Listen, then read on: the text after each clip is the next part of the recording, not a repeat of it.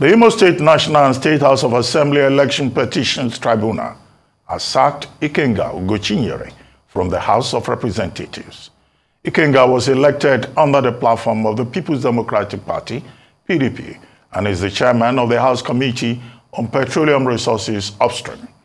In a unanimous decision, a three-member panel of the tribunal, which conducted its proceedings in Nasarawa State, held that Ugochinyere was not validly nominated by the PDP to contest the Ideato North-South Federal Constituency election, which was held on February 25. Consequently, the tribunal ordered the Independent National Electoral Commission, INEC, to within 90 days conduct a supplementary election in the constituency. The tribunal, in its lead judgment that was delivered by its chairman, Justice Anthony Akpovi, specifically directed the electoral body to conduct the supplementary poll in 55 polling units where elections were not held on February 25. The court held that the PDP and its candidate should be excluded from the supplementary election.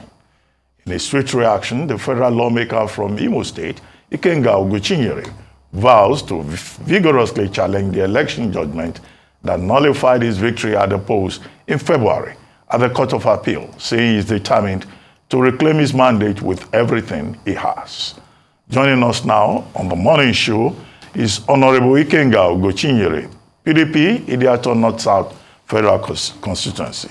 Good morning, Honorable Ugochinyere, and thank you for joining us. Thank you, Ruben, for having me this morning. Well, quickly, um, I just read that uh, you have decided to challenge uh, the decision of the tribunal in court. The tribunal saying, well, you were not validly nominated, that, uh, you know, the primaries uh, which uh, produced you took place outside the constituency in violation of Section 29 of the uh, Electoral Act. So what's next? Are you already uh, preparing, are your lawyers already preparing to go to the Court of Appeal and what are your chances, really? Because that judgment seems to be so, you know, declaratory, to the extent that the tribunal even said PDP and uh, your good self should be excluded uh, from the supplementary election.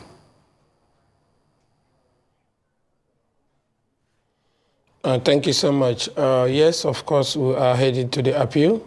And also it's very important that, just like you said, it's very painful that the tribunal that uh, left Owerri on the ground of uh, insecurity and knowing very well the situation in Imo State during the primary that made the PDP write to INEC because of the uh, uh, uh, uh state of emergency of uh, insecurity in Imo State, especially in Ideato, where activities of a non-government was very high, to have the primary in the capital city of Owerri.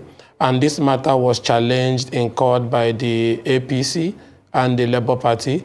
And the court, uh, the Federal High Court held that the reason for moving the primary to the capital city because of insecurity was legitimate and legal. And not only that, also, the court made it very clear that going by the fourth alteration, as members of the APC and Labour Party, they don't have the locus to challenge the primary election of the People's Democratic Party. This matter went on appeal. Some of them went to Supreme Court. I won all of them, and we went to election. And we had a resounding victory in an election that I was not in Imo State when it held.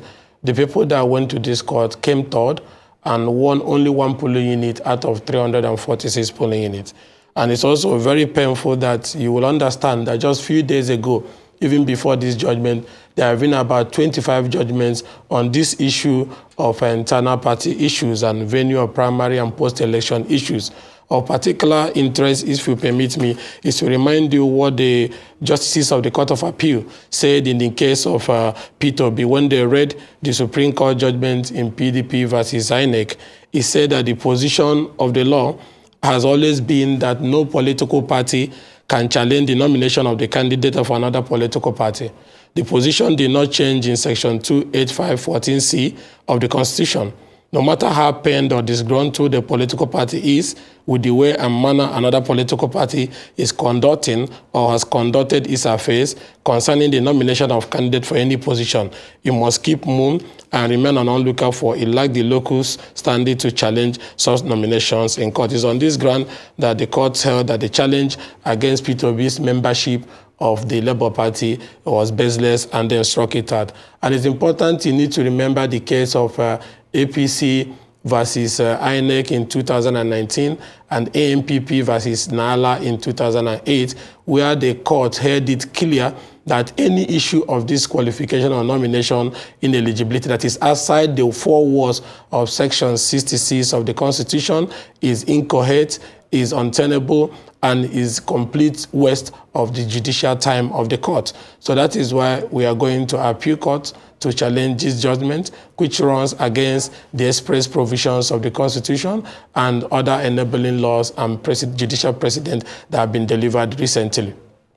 All right. Thank you very much, Honorable Ugochinyere. So you presented your case, but that's meant to be before the appeal court, don't you think? Because um, talking about this, the, um, the tribunal has ruled and the only option, if you were to overturn that ruling, would be for you to approach the appeal court, which is what you're going to do.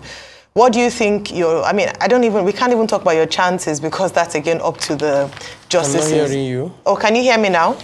Yes. All right, okay. So, so what, what would you want in terms of, uh, what's your, what's your plea? What, what's the case with, what, what's, what's your plea to the appeal court um, if you do, well, since you've decided to challenge the ruling of the tribunal? One is to one is uh, to involve in its entirety the judgment of Justice uh, Akpovi-led uh, tribunal for having no legal basis. And you need to understand to restate that same principle that uh, this is a pre-election matter and this primary held because of the insecurity. And not only that, the person that is challenging this thing from APC came third in the election and, and shamefully won one polling unit. One is important. I, I emphasize on this. One polling unit out of 346. So it's a mandate that is so resounding. It's a mandate that is very popular. It's a mandate that is legal. So I'll be asking them to reverse this injustice, this manifest injustice, and reinstate the will of our people expressed at the general election that we won landslide.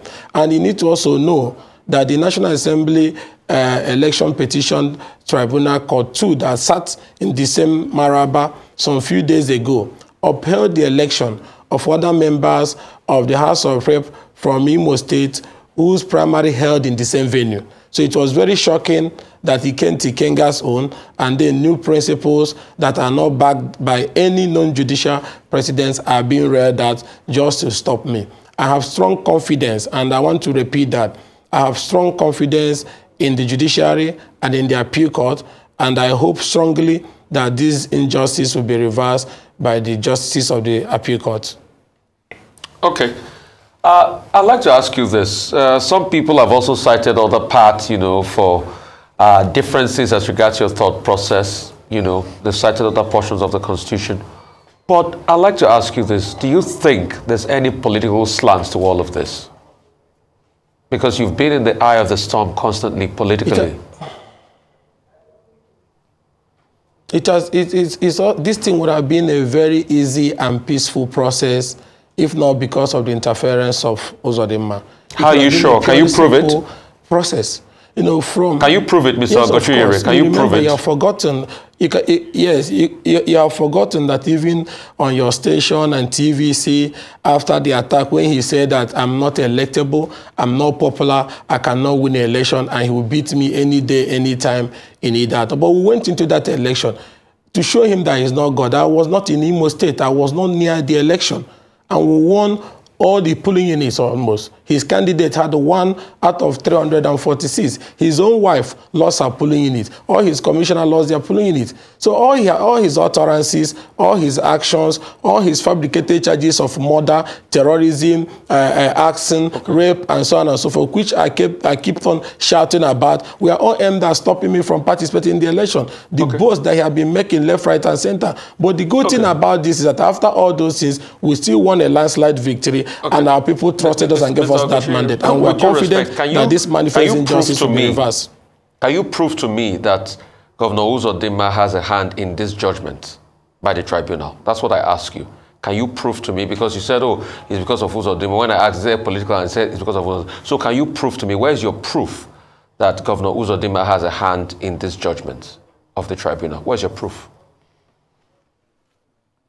Because of the great respect I have for members of the judiciary, there are certain things I cannot speak on air. But there are some things that you already, from the processes leading us to this particular moment, you already don't need to be told. Even some of the journalists that travel all the way to Maraba by the night to cover the event, you know the person that sent them because of what is possibly expecting to be the outcome. But there's some comments I will keep off air. But I don't need, you're not a baby. I don't need to tell you how we got to this particular point and all this offensive in the last two years, both to kill me, both to destroy me, both to destroy, uh, burn down my house, both to attack me on election day, before election day, and so on and so forth, all aimed at achieving the purpose of Ikenga cannot be in the House of Rep. But at the end of the day, I want him even from outside the state, showing the superiority of God and the confidence our people have in us. So I don't need to go further on that because of the respect I have for the institution of the judiciary. But when the time comes, we'll talk about that.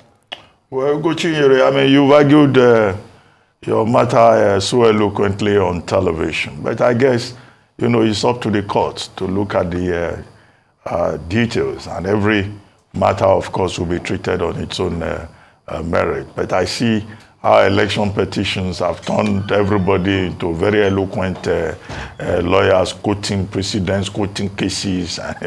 I wish you were the one in front of the court, you know, arguing your, your matter yourself. But in any case, I guess there's very little we can say at this point. We just wait uh, you know, to you go to the uh, Court of Appeal and hope that your lawyers will do due diligence. Okay? Well, uh, thank you so much. I don't know. If, so I mean, uh, we've talked about the matter and we look forward to how this will progress. And um, once that's been established, hopefully we can have you again on the show to discuss further. But I know before we let you go, Honorable Ugo is there anything you'd like to say especially with regards to the entire process so far in terms of your elections, um, some of what the opposition has tabled before the courts, and also, um, you know, um, what's going on in the House currently, um, your, your experience thus far? Well, it, the most important thing here is that I don't want people to be looking at this about as a Ikenga we are talking about challenges our institution is facing, both our electoral institution and our judicial institution. And for those people who are playing these things that is disturbing, to understand that one day you may be on the other side. The only way society can work is that there are strong institutions, not just the electoral institution, but the judicial institutions. Elections should only be determined by the will of the people. Anything outside that is illegitimate and unacceptable.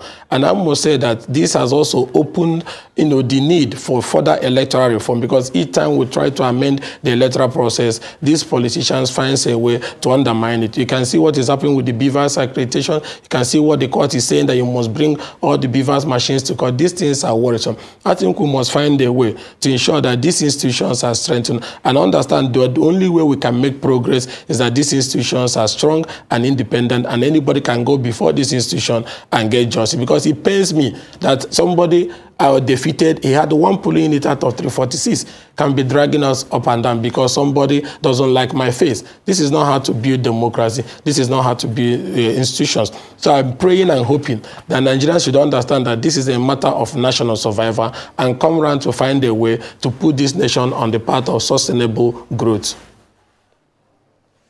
Right. Uh, thank you. I th thank you so much, uh, Honorable Ugochinyere. I think we've pretty much uh, exhausted most of it, so we'll see how your time goes in court, and if there are further things to talk about, we'll talk about it.